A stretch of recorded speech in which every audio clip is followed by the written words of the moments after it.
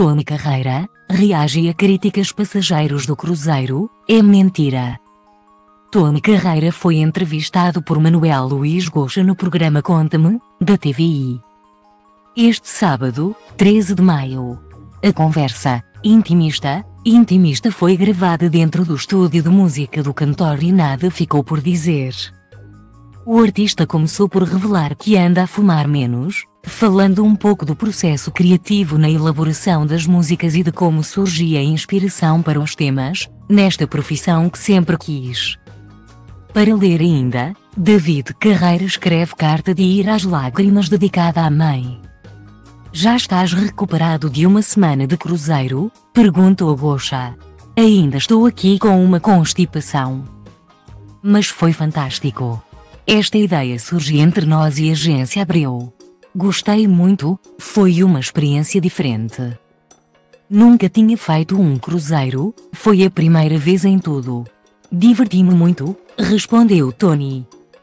Referindo que ofereceu um concerto extra à volta da piscina para que toda a gente pudesse ver. O apresentador quis saber como é que Tony se preparou para estar numa cidade flutuante com quase 4 mil pessoas e o artista assumiu que sentia um pouco de medo. Vi o Titanic umas três vezes, levava isso sempre na cabeça, sou muito medricas nestas coisas. A qualquer momento se isto bate e eu desmaio, não foi fácil mas a minha ideia foi estar o mais possível com as pessoas. Fui à discoteca duas ou três vezes, fui ao casino e não consegui jogar porque estavam muitas pessoas. Fizemos uma sessão de karaoke onde eu e os meus músicos éramos os jurados e as pessoas que ganharam foram para outra parte no cruzeiro onde lancharam, disse. Quanto às críticas que o cruzeiro em causa recebeu por parte de alguns participantes, Tony referiu estar de consciência tranquila. Estou de consciência tranquila.